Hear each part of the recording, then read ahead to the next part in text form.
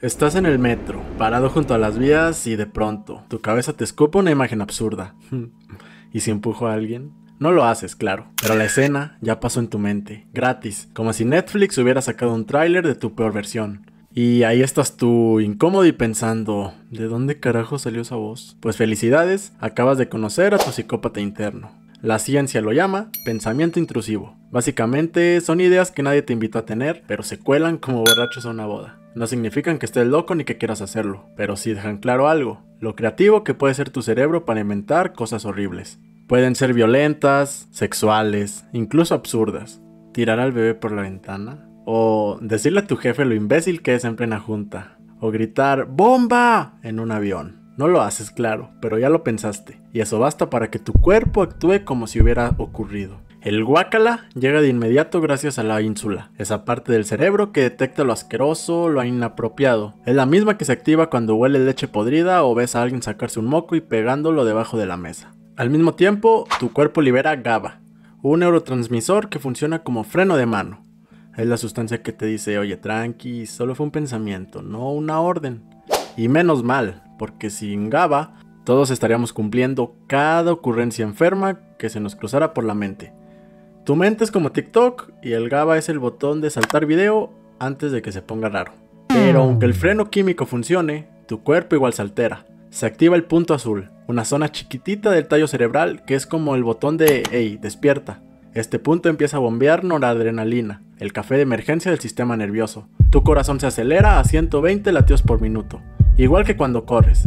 Pupilas dilatadas, manos sudorosas, alerta total. Todo por una simple idea que duró menos que el tiempo que tardas en desbloquear tu teléfono. Tu cuerpo reacciona como si hubieras cometido un crimen cuando en realidad solo estabas pensando en cometerlo. Aquí aparece la corteza orbitofrontal, que funciona como un abogado sobrio en medio de una peda. Evalúa, ¿esto vale la pena o es pro pedo? En la mayoría de nosotros, este abogado dice, ey, ey, objeción, y nos manda de regreso a la cordura. Por eso tú piensas en empujar y acabas yéndote nervioso. Pero en un psicópata real, ese abogado está de vacaciones permanentes. El filtro se daña. Lo que para ti es un pensamiento pasajero, para ellos es un plan ejecutable. Un estudiante de psicología en Canadá contaba que cada vez que cargaba a su sobrina bebé, su cabeza lo traicionaba con un grito interno de ch, aviéntala güey, a ver qué pasa. Obvio no lo hacía, pero cada vez temblaba de miedo de que un día perdiera el control. Los doctores le explicaron que era normal, que estos eran pensamientos intrusivos comunes, que lo importante era que él tenía los frenos funcionando. Y ahí está la diferencia. Un psicópata real escucha la voz, pero él se obedece. Para colmo, tu sistema de recompensa puede jugarte chueco. La dopamina a veces premia el simple hecho de imaginarlo. Ese escalofrío que sientes cuando miras desde un balcón y piensas, ¿y si salto? Aunque no lo hagas, queda archivado en tu cerebro como potente. Guárdalo. Y claro, lo último que quieres es que tu propia mente te catalogue como cliente frecuente de pensamientos suicidas. Pero ya lo hizo, porque la dopamina no distingue entre la realidad y un tráiler mental. Casi todos los humanos compartimos esta ruleta rusa. Investigaciones de la Universidad de Concordia calculan que el 94% de las personas tienen pensamientos intrusivos ya sea violentos, sexuales o absurdos. O sea, si vas a una boda con 100 invitados, 94 ya fantasearon con aventar la charola del pastel o besar al tío borracho.